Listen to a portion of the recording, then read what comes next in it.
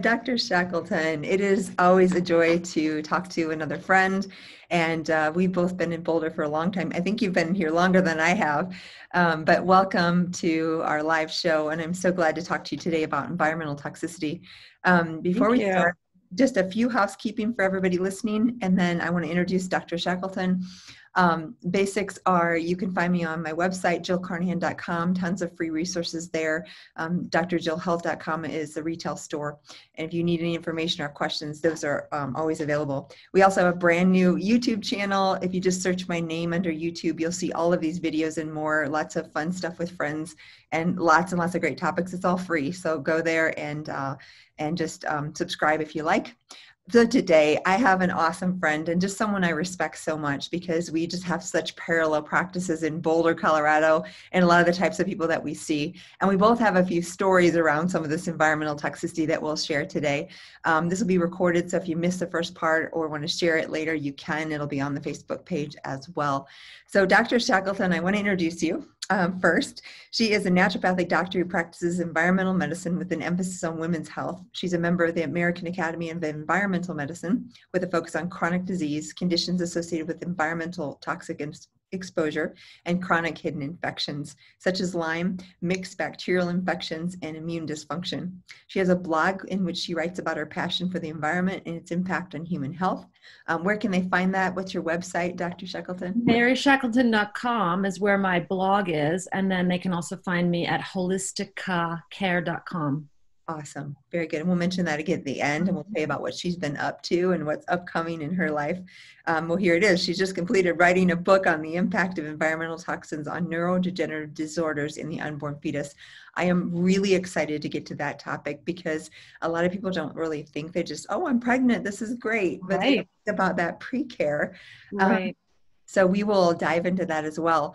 I love to start though with kind of story, and I'd love to hear a little bit about your background and how you got interested in medicine and your path to this career. Well, that's a good question. It was circuitous for sure. I started kind of dabbling in medicine, didn't feel like it was the right course for me, ended up getting a master's in public health that never felt like the right fit for me at the time. Either I was working in the wrong public health department, I'm not sure. But then, literally, you know, when the lightning bolt strikes and you go, that's it. I saw a poster on um, on a phone pole, really, and it was advertising Southwest College of Naturopathic Medicine, doctorate degree, four years. And I never knew you could get a degree in naturopathic medicine. And so for me, it was a slam dunk. I was I had all my pre med uh, prereqs done. I couldn't wait to be done, and it really started for me the the love of my life, which is practicing naturopathic medicine, and it really has been. Um, it was made for me. So I love going to work every day. I I'm always um, much more energized when I get home from having seen patients, and I love the complexity of what's happening, and that's part of what um, inspired this book was realizing that you know there's so much happening in the environment and it's impacting women's health pretty significantly. So it's like what can i do about this? And this book was born from that kind of question. Wow i love that. And you've been in how have you been in boulder your whole life? Did you uh, no i moved here in 99 so i've been i've had my practice here for about 22 years. And you know it's wonderful working here with people that are extremely knowledgeable about their health and interested and motivated and then there's a lot of people here that are not well so it does it's a great place to work and live I couldn't agree more. Um, gosh, mm-hmm. it's, it's exciting to be here among, again, most of our patients, I always joke because in Illinois, you know, you'd have people on three two liters of diet coke per day and mcdonald's and i rarely see people that aren't already doing 80% of what they need with healthy diet and lifestyle so that makes it easy because the foundation there's yeah. definitely tweaks right because some people need a little help with uh, they still diet's kind of a core of what we do but a lot of times at least they have the basic like healthy yes. lifestyle there so. and i attribute the the internet to a lot of that you know there's there was a time that the internet wasn't as accessible and we, i was really teaching a lot of basic foundational stuff now people have they know so much before they sit down i used to have a um, talk a live um, talk radio show mm-hmm. and the questions that would come this was 99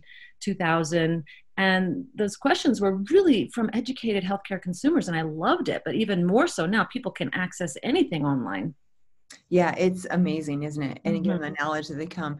So, um, right now, uh, first of all, let's go through what's happened recently a little bit. Uh, How has that affected your practice, your patients that are coming in? You're probably doing more virtual than before.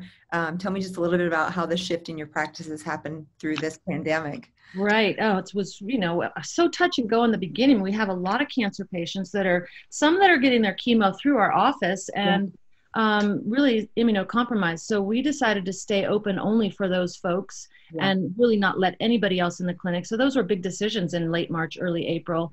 And then um, everything went online, all, all patient appointments. And I realized, wow, we really can do a lot online. So, um, but you have IVs, so tell us more about. So you offer what different types of IVs are you offering? we have um, goodness um, myers cocktails uh, amino acids alpha lipoic acid iv curcumin um, phosphatidylcholine glutathione ozone and we also have a laser.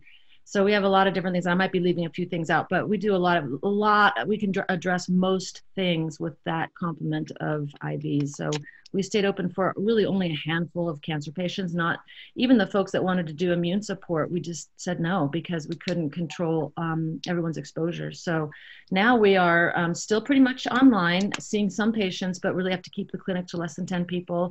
And we have one IV per room where we used to have three in a room. So we're spreading it out and getting people in as we can. Good. Yeah. Yeah, that's amazing how, you know, with the IVs, because you got to have them in person, right? We did the same. Right. Well, we both mostly went virtual and just didn't do a lot of IVs. We didn't have people that had critical needs. So we were able, and we have a much smaller IV, um, you know, population than you do. So, um, and we did all Zoom for a while and then got back live and it was really no big deal. Um, Mhm. Now, same thing, there's a limited amount that come in the office.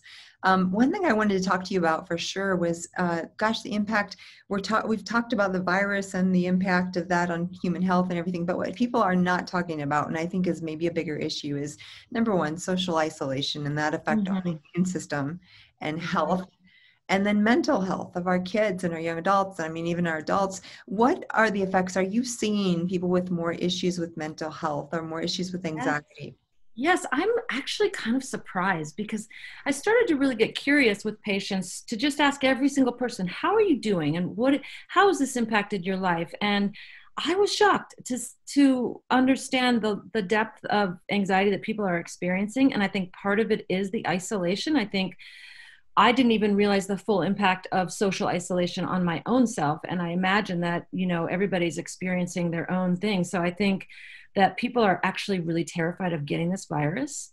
And um, and ev- there are so many different sides of this this entire experience that it's compl- it's very complex. And so um, you know they might have had chronic asthma as a kid Yeah. and been fine for 20 years but this is a real trigger for them. So they're triggered around their health and they're isolating. I have a patient that's a you know living in the mountains by himself because he's so afraid of contact with other people. And then to answer your question about how it's affecting our immune system our immune systems learn by contact with viruses and bacteria. And so you know we are you know you can take a certain amount of supplements but that doesn't create antibodies to infection. And that's what we need. And so kids kids are good at that they're getting exposed all the time and their immune systems can be fairly robust and yet adults we are we, our immune systems are not getting exposed or seeing any infections so we're not giving it the chance to learn how to respond. So it's and and yet it's very complicated you know this we do need to stay home for a little bit longer and we do need to wear masks and we do need to wash our hands and i i you know the whole concept of hand sanitizer i've written so many blogs about no, don't use hand sanitizer because we want these microbes yes now the tr- the triclosan, which is actually re- re- related to reduced fertility, um, I just keep seeing these hand sanit, you know, gallon size hand sanitizers, every, and I, you know, it's like we just are all on a point of surrender for now. We have to surrender. um, you bring that up because of triclosan i can't even say it The- the Triclosan. Yeah.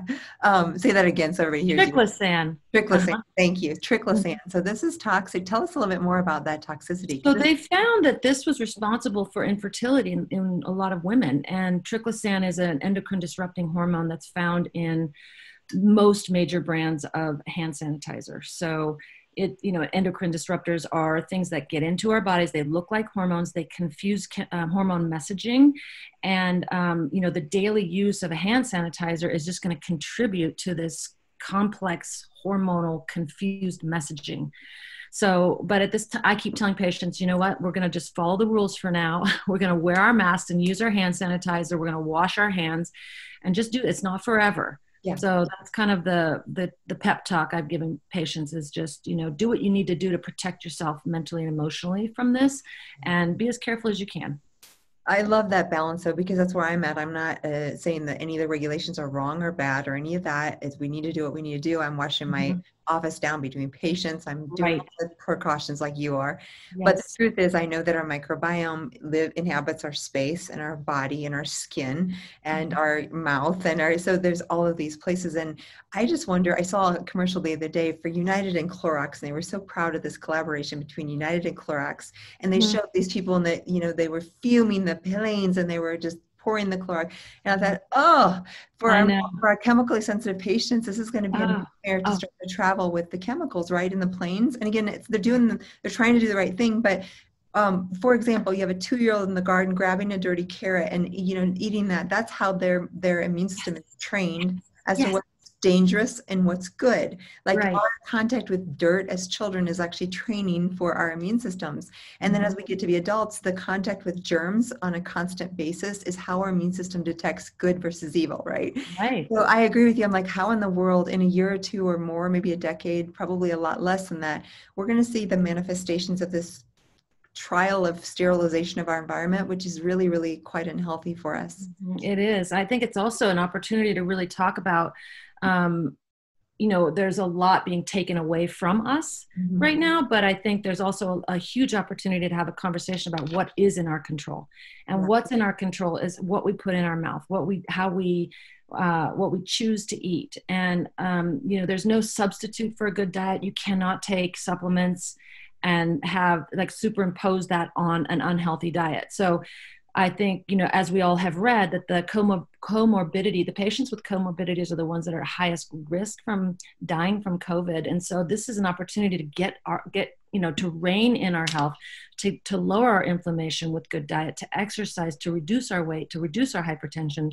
This is the best time that we're ever going to have and the best reason that we have to ever do the, to enact some personal changes in our, in our own behaviors because it's protective. Yeah, I love that because a lot of times I talk about, you know, the germ theory was years ago and it's still real. There's germs and they uh-huh. cause illness.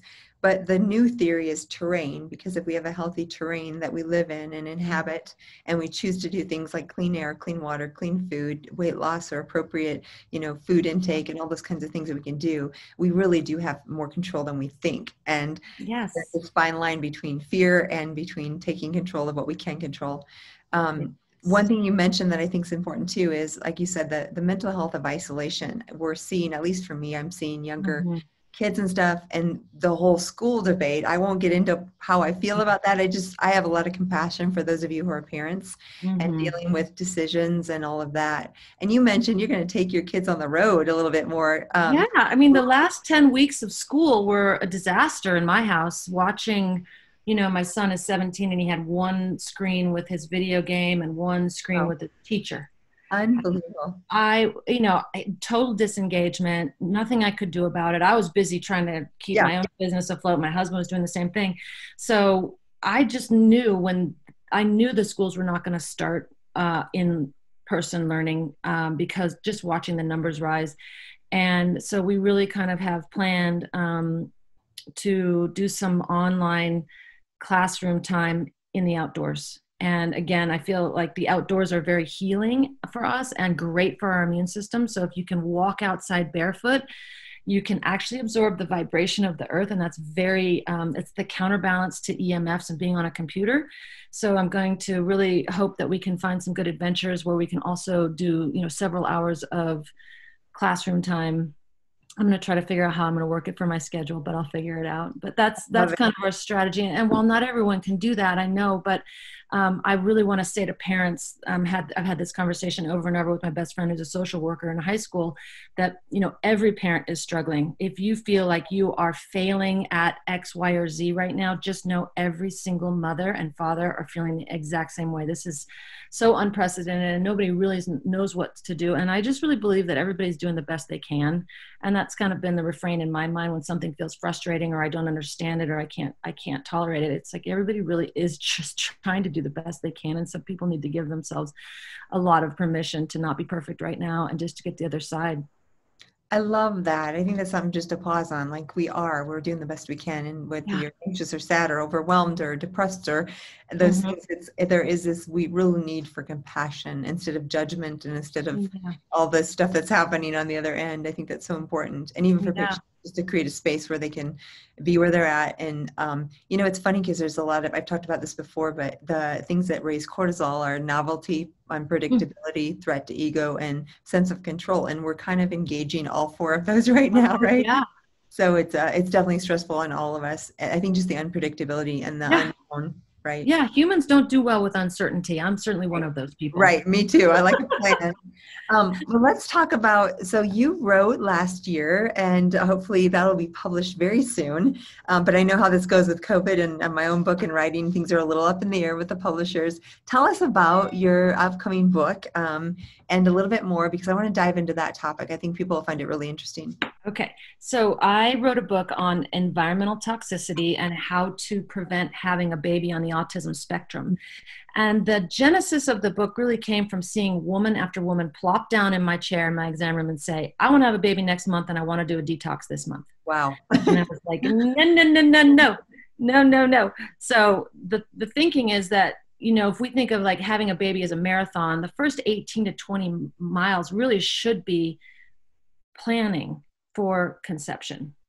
So, detoxing, looking at your personal environment, what can you do to clean out what we've stored and then not put any more in. And that's a process and it takes some time. So if you get this, I also think of the detox machine like a wheel. If you get it spinning and then get pregnant, that baby will be exposed to everything you've now unrooted or pulled out of hiding. And so the, the goal really is to have a good year, 12 months to detox before you get pregnant. It will increase your chances of having a healthy baby. It will increase your fertility, um, increase the chances of your brain, of the baby's brain being neurologically intact. So it's a concept that I really want women in their early fertile years to grasp because their fertility is affected greatly by what's happening in the environment. And what's happening in the environment is happening so rapidly that it's impacting our genes, it's impacting um, the way we are actually having babies. I think there was something like 20,000 babies born to IVF in 1998, and in 2012 it went to, to 60,000. Wow. So it's that's not going to change and part of that is the environment of course not all of it but part of that is due to environmental changes so this is so interesting because I can go back to a little bit of my story, with, which is uh, 25 years old breast cancer, and mm. there's no doubt um, that I had in utero exposure to toxic uh, mm. endocrine mm. disruptors on the farm. So mm. Atrazine and oh. organophosphates, oh. right? I mean, classic. Yes. And if I looked, I remember this was like 10 years after my di- diagnosis when I was in remission, but I remember looking up atrazine, really understanding it, and then realizing it's banned in Europe, but in Illinois and in the United States, it's still being used, and being like, oh my goodness, how in the world is this chemical, which we know is so toxic, still being used? And then I'm like, well, let's see where the concentration of use is. And I looked up map of the United States and atrazine use. And I literally fell off my chair, Mary, because right in the hottest red spot of the use was where I grew up, like the center, like a little bubble of red that was solid, as solid oh, can be. Just got the chills. Yeah, right in the yeah. Central Illinois farmland. And I was like, oh my gosh, there's no doubt. And we had a well with well water. So there's probably, you know, there's so many things I could talk about, but talk about in utero. So I have no doubt my mother had migraines, chronic fatigue, Hashimoto's thyroiditis. And I remember being really depleted. She had five children and I was oh. a second.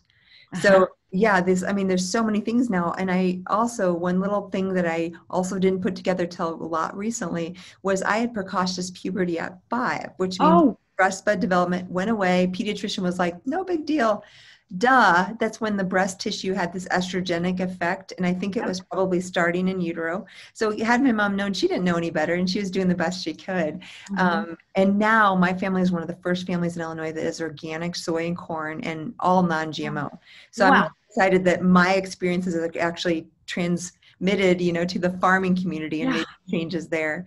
But does it make sense as you're talking about toxicity and my own breast cancer in what you're right. talking? Oh, yes. And atrazine in particular is interesting because they've studied frogs with exposure to atrazine and they exhibit both male and female reproductive characteristics. So males can actually have ovaries, males can have babies. So it's confusing the entire hormone messaging system. And so, how can we really even expect to have a baby on the first attempt or a healthy baby if we don't really try to um, reduce our exposures somehow? Yeah, so important. And again, my mom was doing the best she could. Um, yeah. Nowadays, she's done detox. She knows all about that. But I think mm-hmm. if we could have caught a young mother like that and had her go through a year of detox, like you're recommending, it might have made the difference in a cancer of a 25 year old woman, which doesn't seem possible, but totally related in my mind. Oh, mine too, for sure. And the other thing that you mentioned, which is interesting, is that um, multiple children in one family, that last baby, unless the mother is very intentional about putting nutrients back in, that last baby gets the least of, uh, amount of nutrients. So, in terms of essential fatty acids and minerals and all these things that are really important for neural development. So, that's another thing about preconception planning. Is this your first baby or your fourth? If it's your fourth, you really need to, you know, these nutrients that we take orally are really critical. Was is there any recommendations if a patient, if a you know woman is planning kind of her family about timing between pregnancies or tips on that? Well, I don't know about that. I think it's more, I mean, certainly a year to give your body to recover. And in that year, definitely stay on your prenatal vitamin D, probiotic fish mm-hmm. oil, because those are all really important nutrients to feed your cells, get your cell membranes back to being really resilient. Um, those are the big ones. And then dietarily, absolutely dark green leafy vegetables, eggs if you can tolerate them, um, grass fed protein, um, animal meat if you can tolerate and like that. Um, so those those nutrients are really really important to to re, replenish. I mean, it's not just like you have your baby, but that takes right. a lot out of a woman. It takes a lot, and then you nurse. I mean, that's eight, 600 to 800 calories a day that you're expending to keep another human alive. So you really have to be intentional and get some support around that. Yeah, gosh, I love that. And uh, what? So, say someone does come to you and say, "I want to get pregnant in a couple years. What should I do now?" What would you do? What kind of workup or testing, or what would you do for that woman? That's great. Um, I would do genetic testing for sure. I would look at their MTHFR status because if that were a problem, then we'd know we have to kind of back up and do maybe even a little bit extra detox for this person. That shuts down phase two detoxification in the liver. I would do a nutrient panel for sure, just to see, you know, where where is it looking, and then I would kind of do a clinical intake with them and figure out what their risk of exposure is. Do they did they grow up on a farm? Did their grandmother grow up on the farm? We do know about transgenerational um, toxic um, exposure. So your grandmother also probably had some toxins that she gave to your mother that she gave to you. So doing an entire family history is often really illuminating to see wh- where are your potential risks and what can we do now. Um, heavy metals, uh, stool testing, depending on how they're doing, because the microbiome really is critical, and that we share women share that with their babies as they come through the vaginal birth canal. So um, knowing if your microbiome and I I don't know about you, but we probably rarely see anybody with an intact microbiome these exactly. days. But it's a good teaching tool for people to see this is why diversity in your diet is so important. This is why, you know, avoiding all the things that deplete the microbiome are really important. So that's kind of a, and, and certainly blood work. Yeah, certainly gosh, I love that. And I love the gut that you talked about because it really is inoculation of the baby through mm-hmm. the vaginal birth canal. And C section babies, a lot of um, midwives and uh, holistic practitioners are actually inoculating um, mm-hmm. with vaginal fluids in the babies that are newborn because it's such a key to get that ingestion of the microflora. Yes, I really encourage people. I mean, if they have the goal is to have a baby, right? So whether you can have it vaginally or not, okay, you have to surrender at some point. But if you don't, to really advocate for yourself to do a vaginal swab um, for the baby's mouth because that's really, really important. I couldn't agree for more. life. Mm-hmm. Yeah, exactly. I mean, it's, it's incredible if you think about how we're designed. I mean, it's that that is like such an incredible design it really is it's it's crazy fascinating and you know the studies that i've done looked at on c-section babies they may never completely now first of all granted there's emergencies and we want to have a healthy baby so right. i have no problem with c-sections but right. if it's scheduled around the ob's golf schedule, maybe that's not a good idea. Right. um, because what we see is we see these C-section babies have a different flora from birth, and it may never completely regain to that of a vaginally born infant. So there's much more like skin flora, like staph and strep, and those in the baby's uh, gut versus our typical bifidobacter and lactobacillus. Yeah, I usually see like a lack of lactobacillus with a C-section baby for life.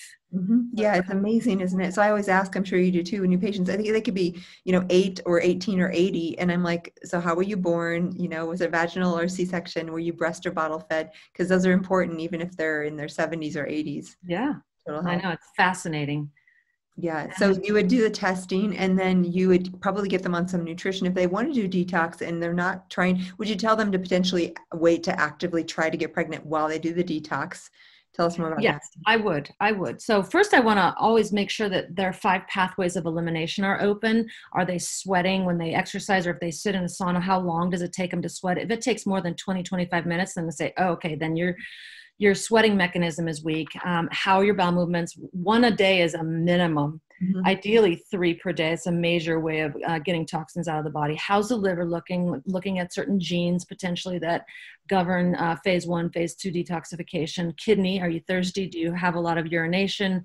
Um, and um, and lymphatic. So if they don't exercise, then we know that that's that's a hindrance to moving toxins out of the body as well. So always make sure those five pathways are discussed and addressed. Um, and then what was your question? Sorry.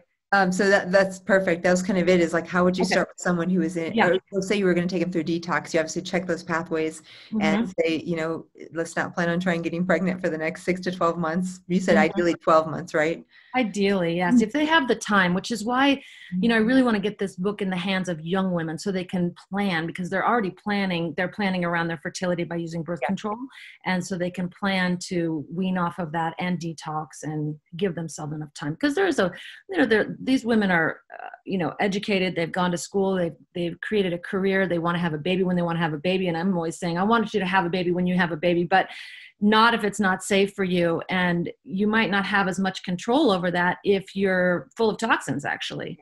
Yes. Is there anything particular you've seen? Um, i mean i've seen different things and, and i'd love to but i want to hear you for autism is on the mm-hmm. rise massively. mm-hmm and there's definitely i loved in your bio because you said something i've always uh, thought you know toxic load infectious burden is at the core of what we do right? Yes. and when we talk about autism it's that those systems that are like the weak links of you know one in a thousand kiddos that have poor detox and you load them with toxic load and you see this weakness and it can manifest as this communicative disorder with mm-hmm. autism.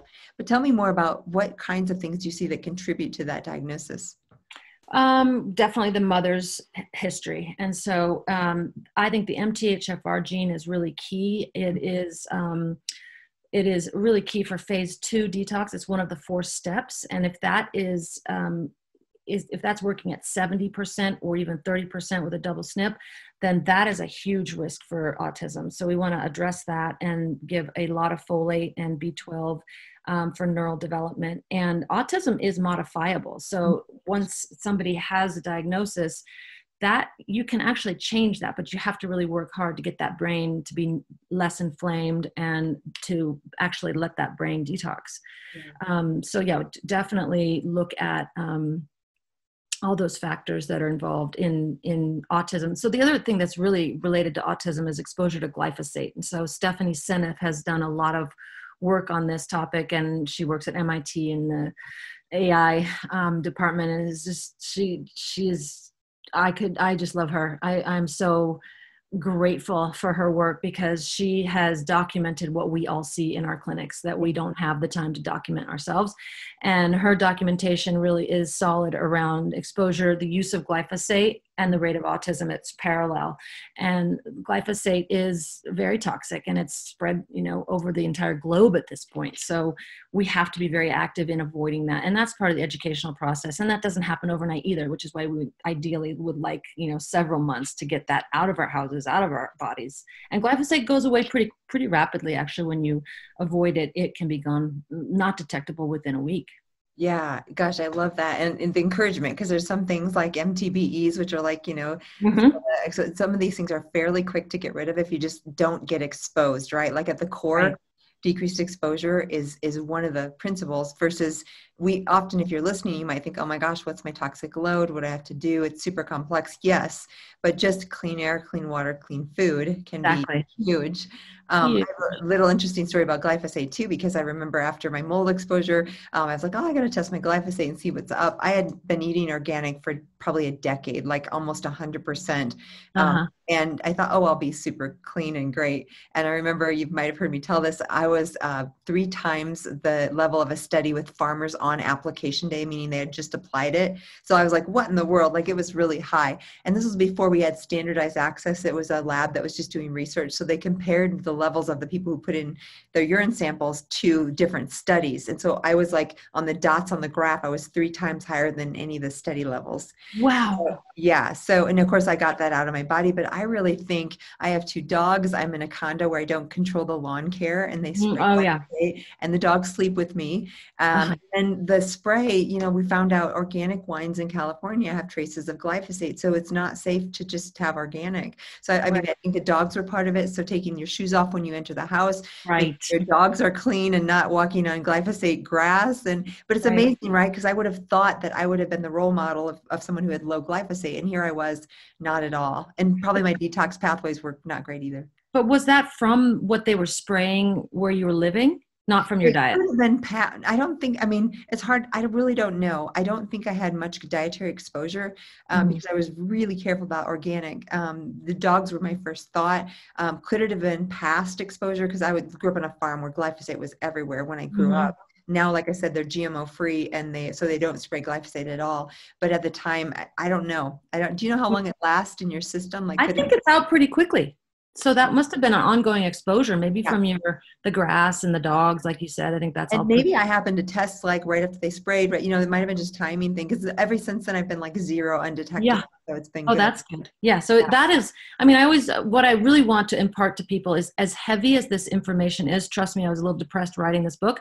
It's kind of heavy. It's kind of overwhelming. But the truth is, there is a lot in our control, like this, and this this goes away quickly. Heavy metals take a long time to come out. Yeah. Mold is little in in between, depending on you know how healthy you are and what your genetic um, landscape looks like. But um, some of this stuff really can can shift quickly. And I, I walk through personal care products and what we can do about that, and just really, it does take time to go through a home and identify the things that are putting you at risk. And and there's now compared to 20 years ago there are so many amazing products available. Yes. i'm astounded. So there's almost no excuse. And you know these are not expensive anymore. They used to be really out of reach financially for a lot of people. And now you know we also know that vinegar and water are really mm-hmm. great cleaning supplies. So so I try to give people really um, manageable suggestions and um, things that will work for every person. Mm, I love that. I can't wait for this book because it's going to be such a big um, deal for patients, for my patients too. So I'm mm-hmm. excited. And right now, there's no for sure. The timeline's a little bit. No, yeah, I, yeah, just, I know how this goes. I, just to, I know. I wish I could say. Yeah, maybe I come back when it's ready. I don't know. I, I oh, wish I could say it was ready. But I mean, the, the other reason I wrote this book was that I'm I've been seeing. I'm sure you have too. So many people in their 40s and 50s with cognitive decline, mm-hmm. and they're otherwise healthy, and that to me is you know I, if i had one tattoo it would be why. Yes. why does this 40 year old have cognitive decline? That doesn't make any sense. And i really backed it up to well they probably came in with a lot of this. And so if we want to change the generation coming behind us we want them to come in healthier. And so it's an educational process and we're get we're get there. And I'm sure you talk about the cord blood studies that showed like babies being born into the world. Is it like greater than 200 chemicals able to be detected in their cord blood? And I think 180 80 of those were um, neurologically toxic. And oh so, my goodness! Oh, so, so yeah. I mean, and we don't know how they act together. Right. So nobody's studied that, and so you know, we used to think of this placenta as this magic gate, and the placenta is just as porous as the mm-hmm. um, the the brain barrier. Yeah. So we have to assume that anything that we are exposed to or have stored will be shared with the fetus at some point. And so that's a big motivator for a lot of people to think, okay, I can't just get away with this because it's going to get to the baby. Where they say, you know, this drug is a yeah. class C drug and it's pregnancy safe, but it still gets to the baby. Right, exactly. So we have to really be thinking about that. Um, mm-hmm. in our last few minutes, I'd love to just briefly talk about mold because you and I both have stories. Yes. I won't go into mine, but I, I had my office totally Yes. mold, had to leave and start over, and you had something similar. Tell us just a little bit about your story. It's very similar. Very similar. I, I was in a um, an office in Boulder that I was in for six years, and every day that I I don't work every day, and so it wasn't like I could track it. And I thought, oh, I just have low blood sugar, but I would have these visual changes, Mhm. and uh, at the end of the day, I couldn't read my own writing. It was so impaired. And I would often drive home feeling like I had been drinking and then couldn't sleep and anxiety, depression, insomnia um, which it, none of that is normal for me. And so this was 2017, and we did an air spore trap test in the office because all of our patients that are mycotoxic kept coming in saying, "Why am I dizzy in here?" or "I have had a headache for three days since being in your office." We're like, "That doesn't make any sense. This is clean. The, the air spore trap test was was negative, and then we did a dust sample, and it was off the charts. Wow. So then we had it cleaned and i couldn't go back in after it was cleaned because i would get dizzy every time i went back in. And i'm pretty healthy. Yeah. previous to this i have been very strong and resilient and healthy and like i have exercised you know i've been a runner for 30 years and came in fourth in the Bolder Boulder years ago. Wow. like you know I've, I've been pretty strong but i went down hard. And you know i had tested my HLA-DR in 2015 and i said oh my god that's funny. I have that gene and i laughed it off. And then i then i was like oh my gosh now i now i see you know in my mthfr i have one snip. And so you know you put all these pieces together in the rearview mirror when you're sick and you think Yeah. oh okay. And then you know the, i do believe there's a gift in every single illness. I mean look what your gifts have been this journey that you're on and where you are. Um, would you ever chosen that? No. Right. but it has you know really honed my skills at working with mycotoxic patients and detox in general. And so um, you know i got through it I, I still have a little, a little bit of residual I've just been lazy. I need to clean up, but for the Oh. most part, took six months to find a spot in Boulder that didn't have mold in it because we had a flood here, and there's you know so many. lots of properties. Yes, Yeah, Yeah. I know. and so yeah, we have a clean office, which you know I'm super happy about, and I love it. I have to come see your new space. Yeah, Can't to- yeah. to do it. Um, well, yeah, very similar um, story that everybody's heard of my own as well. And what I think that was interesting is I've had a lot of colleagues who, they're mostly colleagues, a few friends, a few patients that have had infertility or miscarriages. And we later find out they had massive mold exposure. So Mhm. it- as we're talking about fertility and that, this could be an issue too if you're having infertility issues or if you've had multiple miscarriages. Um, mycotoxins are teratogenic, so they can cause birth defects. And they look, it's funny because a lot of the studies, because they affect grain production and then cow, like uh, livestock really, right. a lot of the studies around mycotoxins and mold are done in um, cattle and in pigs, but it's super clear that it has a fertility effect and it has an effect to the fetus. So this is a really big deal too. And this is one that you may or may not know. So one thing I've seen with COVID is as people are at home more, when their home is toxic, all of a sudden I'm seeing people are like, oh, I'm getting so sick, right? No, I was so worried about this. Yeah. Yeah. Have you No, like- seen more people who are noticing because they're all of a sudden they're at home and their home is moldy? Yes, yes, yes, yes. And I, you know, early on in the uh, in the pandemic, I thought, oh no, all these people are going to be stuck Yeah. at home. Yes. And this was, you know, still winter, so the windows were closed, and I was really worried about And did you that. see that if people got worse? I mean, I saw not not tons, but maybe a ten percent or so of yes. people that really got sick. But it was kind of interesting because, like, well, what changed in March? Oh, and so they would kind of the buy-in for them was easier because, like, oh yeah, I've been home a lot. Yeah, I've been I've been Right. feeling worse. So they kind of put it together because part of the issue with mold is for the patient to actually believe there's a real issue, right? Oh, for sure, for sure. And um, you know, I I think you've probably seen the same number of people with mycotoxicity and cancer diagnoses. Yes. when they're really trying when they try to unpack like why did i get this why why why and it's like well let's look let's just do a little dust sample of your house i mean we not need to look too far Right. so yeah it's it's you know mold is insidious and quiet and it touches every area of our lives quite honestly i think it does Sadly, I know. Don't you? I, I remember the very beginning. I'm like, well, not everything's mold. But then as I would dig, I kept finding these cases that were presenting with autoimmunity or neurodegenerative, like we said, Alzheimer's or dementia, or they were Yes. massive chronic fatigue or migraine headaches. And I kept finding, like, gosh, is everything mold? And it's not. But there's an awful lot of it that goes Yeah. undiagnosed, right? Gemma, i'm actually kind of glad when i see somebody with ms i'm like oh you might not have ms you're presenting like that but it might just be really treatable mold which i don't i don't mean to take it lightly because it's very Yeah. destructive to your house or your office or whatever but at least it's treatable. It, at least it's not something that's happening to you that nobody has an explanation for. So i I love it. At least it's a layer. It's absolutely a layer, if not the top cause. That's kind of I how I get it. Totally agree. And Yeah. then for fertility, say you have a woman, young woman comes up, hey, Dr. Shackelton, I want to get pregnant. I've heard you're great at this. I want to know what you want me to do. And then as you talk to her, maybe just do some testing and you you find out she has mold in her home. How would you would you treat that pretty similar as far as uh, detox for a year? What would you do with that patient for a pregnancy? I would say we want to retest and get a negative mycotoxin test before you conceive.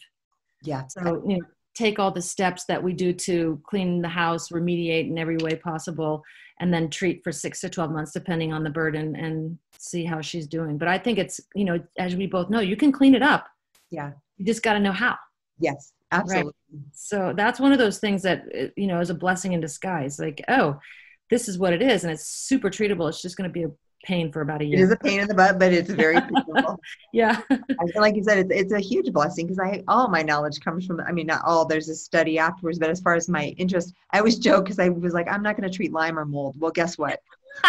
we kind of have Yeah. to treat both, and that might be the majority of my practice because there's so many people who aren't doing right. those two things. Probably similar for you, right? I remember reading the word Stachybotrys. I, I so my master's in public health. We look at. I took a toxicology class where they really were talking about environmental disasters like the Minamata Bay mercury contamination and then subsequent mercury poisoning of the people in Japan. So we looked at that kind of stuff, but never this like in low grade environmental exposures, chronic exposures. Um, so um, wait, where was I going with that? Sorry, the brain. Oh no, yeah, with um, exposures and toxicity and and um, I think I'm not remember.